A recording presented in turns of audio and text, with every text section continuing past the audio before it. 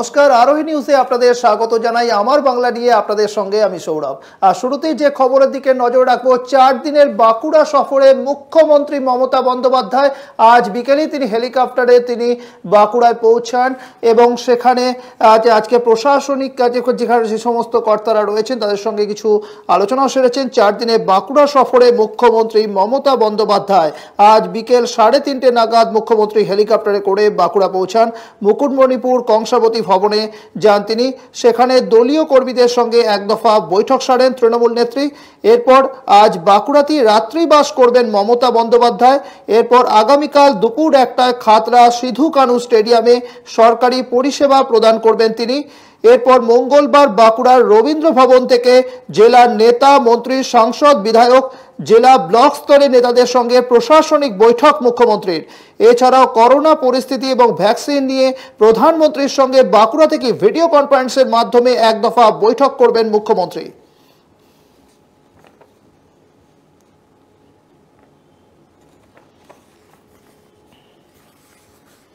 অন্যদিকে মুখ্যমন্ত্রী যখন বাঁকুড়া সফরে গিয়েছেন, সেই সময় মুখ্যমন্ত্রীর সফরসূচিকে পুরুলিয়া থেকে কটাক্ষ করলেন। বিজেপির সাংসদ সৌমিত্র খাঁ। তিনি বলেন যে, মুখ্যমন্ত্রী সরকারি টাকা অপচয় করে তিনি ঘুরে বেড়াচ্ছেন। আজ আজ পুরুলিয়া শহরের বিজেপি কার্যালয়ে পুরুলিয়া, বাঁকুড়া, বিষ্ণুপুর এই তিন লোকসভা এলাকার যে সমস্ত বিজেপি যুব নেতা কর্মীরা রয়েছেন, তাদের সঙ্গে বিশেষ সাংগঠনিক বৈঠক সারলেন সৌমিত্র খাঁ। বৈঠক শেষে সাংবাদিকদের মুখোমুখি হয়ে বিজেপি সাংসদ জানান, মুখ্যমন্ত্রী চার দিনের সফরে দুদিন ঘুরে বেড়াবেন এবং সরকারি টাকা ধ্বংস করবেন। জঙ্গলমহলের সমস্ত গাছ কীভাবে বিক্রি করা যায় সে বিষয়ে চিন্তা ভাবনা করছেন তিনি। বিজেপি যুব মোর্চার পক্ষ থেকে মুখ্যমন্ত্রীকে কালো পতাকা দেখানো হবে বলেও দাবি করেন সৌমিত্র খাঁ। আমরা পুরুলিয়া এসেছি সাংগঠনিক কার্যক্রম নিতে। আর সেখানে এসে আবার শুনলাম যে পুরুলিয়ার একজন ব্যক্তিকে নিয়ে গোটা বাংলায় চর্চা। লালা লালা লালা চলছে আর কি। তো আজকে সেই জায়গায় দাঁড়িয়ে বলছি যে যে পুরুলিয়ার দু নম্বরী কার্যকলাপ করার পর সিএম যে জঙ্গলমহলে আসছেন, তিনি কি আবার নতুন করে সমস্ত গাছ বিক্রি করার জন্য চিন্তা আসছেন? না তিনি বাংলার এতবার করে সফর আসছেন না ওনার রাত কলকাতায় ঘুম আসছে না বলে তিনি বাঁকুড়াতে ঘুমাতে আসছেন? সেটা নিয়ে খুব চিন্তার বিষয়। যে উনি এসে বাংলার জঙ্গলমহলের সমস্ত গাছ কেটে বিক্রি করতে দিতে আসছেন কিনা, সেটা নিয়ে আমাদের চিন্তার বিষয়। অন্যদিকে তৃণমূল কর্মীকে গুলি করে খুন করার অভিযোগ উঠল বিজেপির বিরুদ্ধে কোচবিহারে মাথা ভাঙার বালাসী এলাকার ঘটনা বলে জানা যাচ্ছে। যে তৃণমূল কর্মীকে গুলি করে খুন করা হয়েছে, ঘটনাকে কেন্দ্র করে উত্তেজনা ছড়ায় এলাকায় মোতায়েন করা হয় বিশাল পুলিশ বাহিনী। গুলিবিদ্ধ অবস্থায় ওই তৃণমূল কর্মী বর্তমানে কোচবিহারে একটি বেসরকারি হাসপাতালে চিকিৎসাধীন রয়েছেন। তৃণমূলের পক্ষ থেকে অভিযোগ, গতকাল রাতে মাথা ভাঙার বাতাসি এলাকায় স্থানীয় পঞ্চায়েত সদস্য খাদিজা খাতুনের বাড়িতে হামলা চালায় বিজেপির গুন্ডা বাহিনী। সেই সময় তৃণমূল কর্মী আব্দুল জলিল মিয়া পঞ্চায়েতের বাড়িতে ছুটে গেলে তাকেও বেধড়ক মারধর করা হয় এবং তার হাত পা ভেঙে দেওয়া হয় এবং তাকে যে বেধড়ক মারধর করা হয়েছে এমনটাই জানা যাচ্ছে। এরপর স্থানীয় বাসিন্দারা আব্দুল জলিল মিয়াকে উদ্ধার করে কোচবিহারের একটি বেসরকারি হাসপাতালে ভর্তি করেন।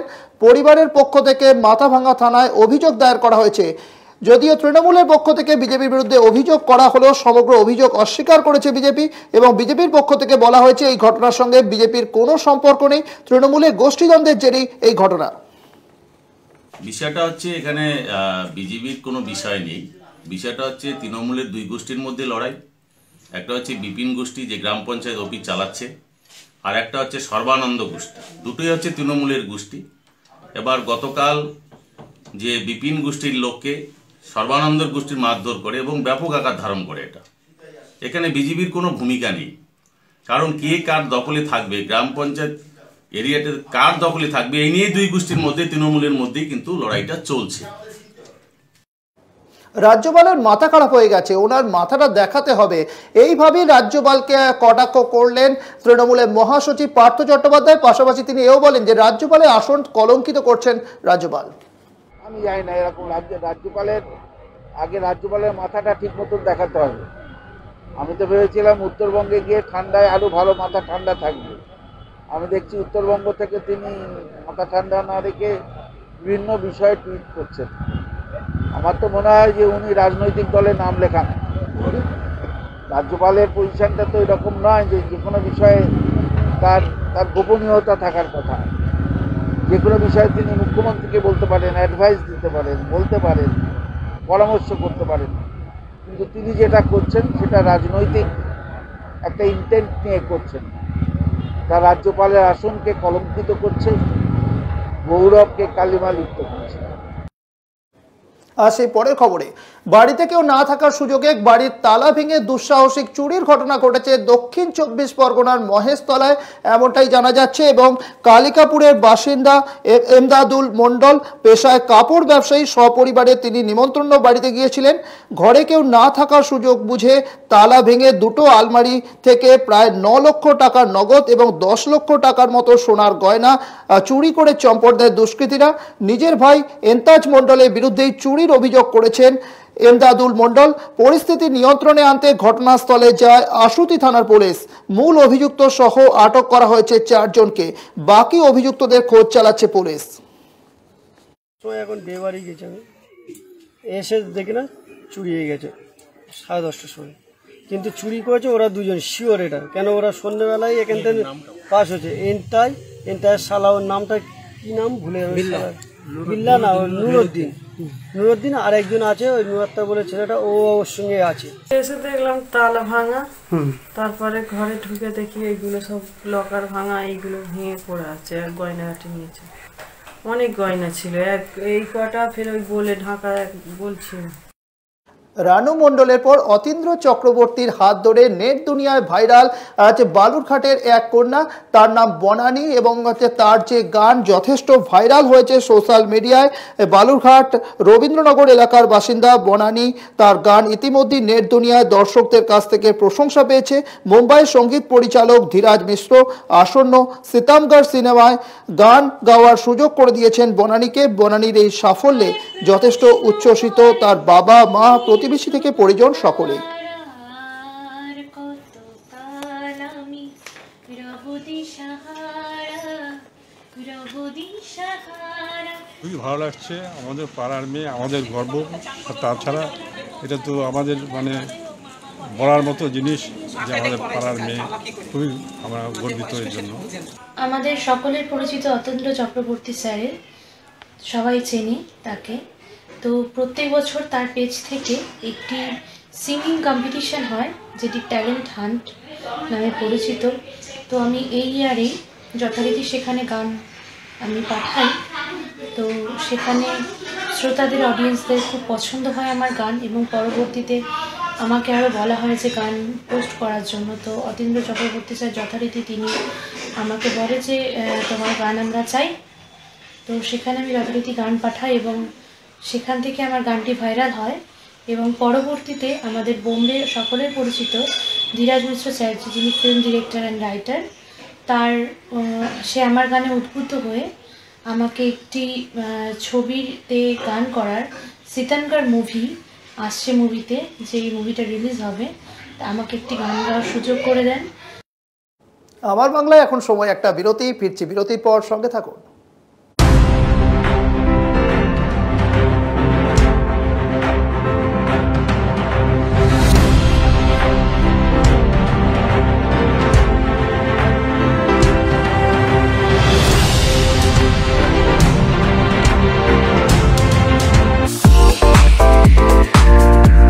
Wanna fly? Step towards three steps. Where we are different. World class infrastructure, experienced faculties, hygienic atmosphere, we take all necessary precautions against COVID 19. Meet the aviation professionals and build your dream career with Three Steps Aviation. Three Steps Aviation!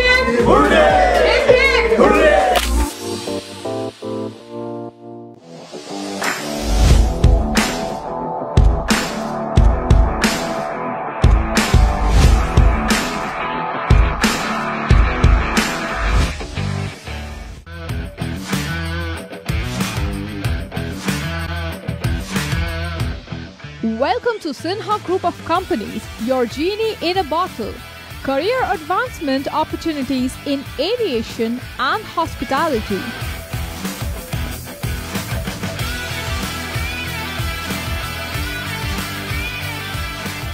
Organic farming, the evolving science of India's healthy future.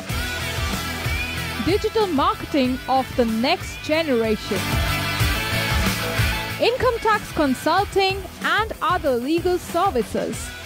Home furnishing and decor, bringing your dream house to life. We know what you desire, so unleash your genie with Sinha Group of Companies and let the magic begin. Sinha Group of Companies, dream with India.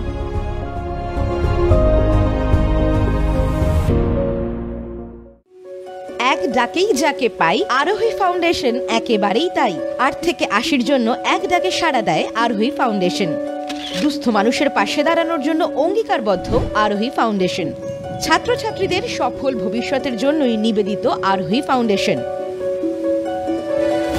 Arohi foundation solution for every need Your bazaar, our bazaar. Welcome to OneStopBazaar.com, where you can get all your necessary stuff, starting from souvenir to t-shirts, shoes, and many more handmade antique stuffs are available just under one roof.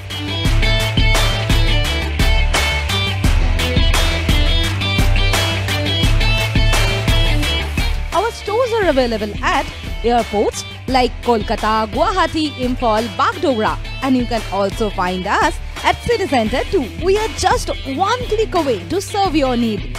Visit onestopbazaar.com or www.onestopbazaar.com. Feel the Indiana.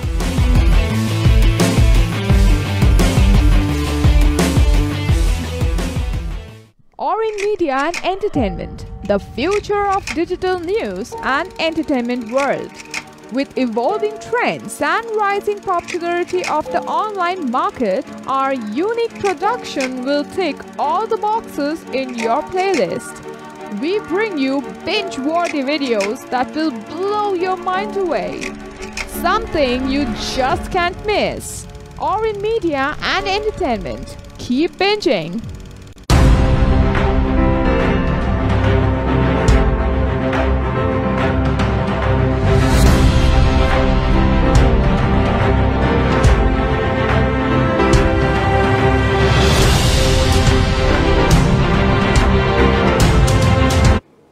এলাম বিরতির পর। শীত পড়ে গেল আর শীতের আমেজ গায়ে মেখে ডুয়ার্সমুখী হতে শুরু করেছেন পর্যটকরা। লকডাউনের জেরে কিন্তু অনেকটাই ভাটা পড়েছিল ডুয়ার্সের পর্যটন ব্যবসায়, কিন্তু পর্যটকরা আসতে শুরু করায় আবারও ছন্দে ফিরছে ডুয়ার্সের পর্যটন।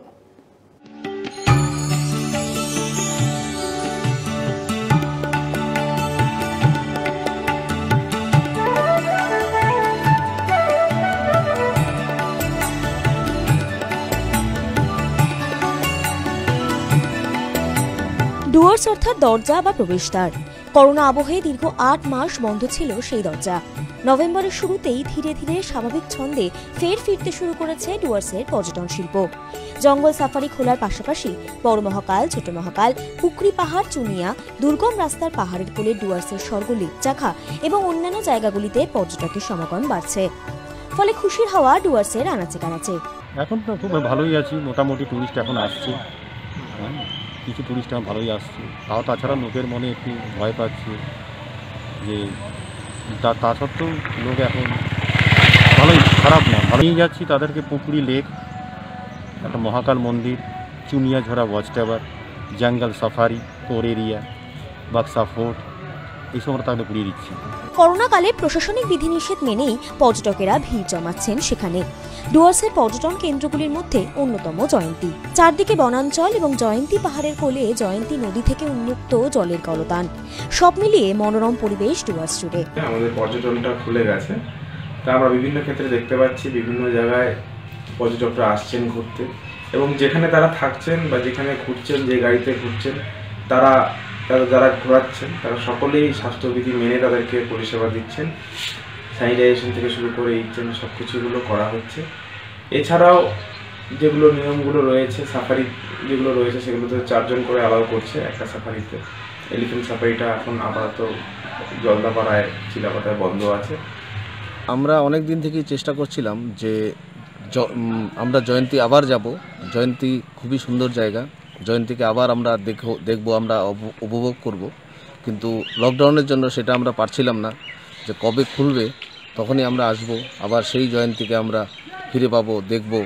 ডুয়ার্সের পর্যটনকে কেন্দ্র করেই সেখানকার সাধারণ মানুষ ও ব্যবসায়ীদের জীবিকা নির্বাহ হয়। কিন্তু লকডাউন ও মন্দায় স্থানীয় অর্থনীতি সাময়িকভাবে ভেঙে পড়েছিল। পর্যটন ব্যবসার সঙ্গে যুক্ত লজ মালিক, জিপসি মালিক, গাড়ি চালক, স্থানীয় দোকানদাররা সহ অনেকেই রীতিমতো আর্থিক দুর্দশায় দিন কাটাচ্ছিলেন। তবে ডুয়ার্সের পর্যটন শিল্প ফের ছন্দে ফেরার ফলে অনেকেই স্বচ্ছন্দ বোধ করছেন, বিশেষ করে ডুয়ার্সবাসীরা রিপোর্ট আরোহী নিউজ প্রাচীন প্রথা মেনে রাজ আমলের ঐতিহ্যবাহী বড়দেবীর পুজোর সমাপ্তি হলো আজকে। যে পুজো দুর্গাপুজোর সময় থেকেই শুরু হয়েছিল বলে আমরা জানি, রীতি অনুযায়ী বামা পুজোর মধ্যে দিয়ে বড়দেবীর পুজোর সমাপ্তি ঘটে। দেবত্র ট্রাস্ট সূত্রে জানা গিয়েছে, দুর্গাপুজো দু মাস আগে এই পুজো শুরু হয়। আজ প্রথা মেনে সেখানে পায়রা বলি দেওয়া হয়, যজ্ঞ করা হয় এবং ভোগ নিবেদনের মধ্যে দিয়ে পুজোর সমাপ্তি ঘোষণা করা হলো এবং আজকেও কিন্তু শেষ দিন, পুজোর শেষ দিনেও কিন্তু বেশ কিছু মানুষেরা সেখানে জমায়েত সেখানে তারা এসেছিলেন পুজো দ- দেখতে এবং মানুষের ভিড় ছিল সেখানে যত- এবং প্রাচীন প্রথা মেনেই আজ সেই পুজোর সমাপ্তি ঘোষণা করা হলো। দেবীর বাড়িতে পাওয়া পুজো হচ্ছে। যেটা ধরুন চার মাস আগের থেকে এই দেবীর পুজো হয়। এই পুজোর আজকে দেবী বাড়িতে হয়ে পুরো সমাপ্তি অনুষ্ঠান হলো।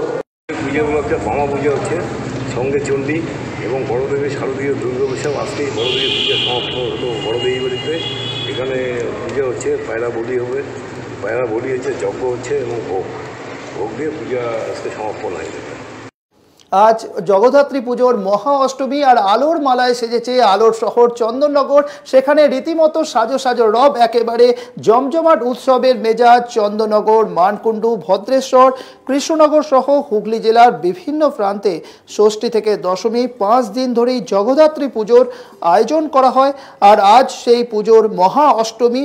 সকাল থেকেই সাড়ম্বরে পুজো হয়েছে। এরপর যে সন্ধে নামতেই সেখানে কিন্তু মণ্ডপে মণ্ডপে মানুষজন ভিড় করতে শুরু করেছেন আর এই পুজো ঘিরে একেবারে সেজে উঠেছে আলোর শহর চন্দননগর। প্রতি বছর অভিনব আলোর মালা সেজে ওঠে গোটা হুগলি জেলার, রাতভর চলে প্রতিমা দর্শন। তবে এবার করোনা পরিস্থিতিতে হাইকোর্টের নির্দেশ মেনে মণ্ডপে প্রবেশে রয়েছে বিধিনিষেধ, ফলে সেই স্বাস্থ্যবিধি মেনেই কিন্তু এবার চন্দননগরে জগদ্ধাত্রী পুজোর আয়োজন করা হয়েছে। এছাড়াও অনেক পুজো কমিটি কিন্তু বাজেটে যথেষ্ট পরিমাণ কাটছাট করেছেন। নমনম করে ঘটে পুজো সারছেন অনেক পুজো কমিটির সদস্যরা। তবে জৌলুস কমলেও চন্দননগরের সেই উৎসব, সেই জগদ্ধাত্রী পুজোতে খুব একটা বিশেষ কিন্তু ভাটা পড়েনি। হয়তো কিছুটা জৌলুস কমেছে কিন্তু আড়ম্বর রয়েছে। এবারেও কিন্তু মানুষজন প্রতিমা দর্শন করতে বেরিয়েছেন। মহা অষ্টমীর সন্ধ্যায় একদিকে ঢাকের বলে চলছে দেবীর সন্ধ্যারতি, অন্যদিকে মণ্ডপে মণ্ডপে প্রতিমা দর্শনের পালা। এবার প্রতিমা নিরঞ্জনও দেখা যাবে না, বিখ্যাত সেই শোভাযাত্রা। তবে থিম থেকে সাবেকিয়ানা এবছরও নজর কাটছে দর্শকদের। একদিকে যেমন ডাকের সাজে, অপরূপ সাজে যেমন জগদ্ধাত্রী যে বেশ কিছু জায়গা সেজে উঠেছে, যেমন সাবেকিয়ানার ছোঁয়া রয়েছে তেমনই পাশাপাশি হরেক রকমের অভিনব থিম, সেই থিমেও কিন্তু সাজিয়ে তোলা হয়েছে। করোনাকালে উৎসবে রং ফিকে হলেও বেশ কিছু মণ্ডপে এবারও আনা হয়েছে বিশাল আকার প্রতিমা।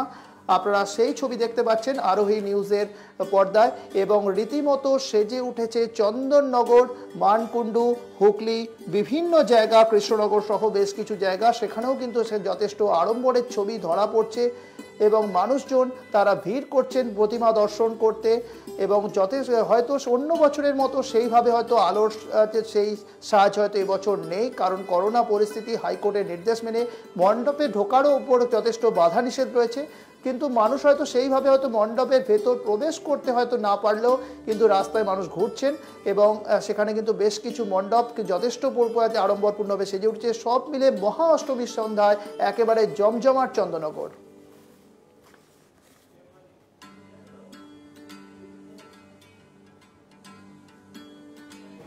আমার বাংলা এখনকার মতো এই পর্যন্তই। দিনভর সংবাদ ও অন্যান্য অনুষ্ঠানের জন্য দেখতে থাকুন আরোহী নিউজ।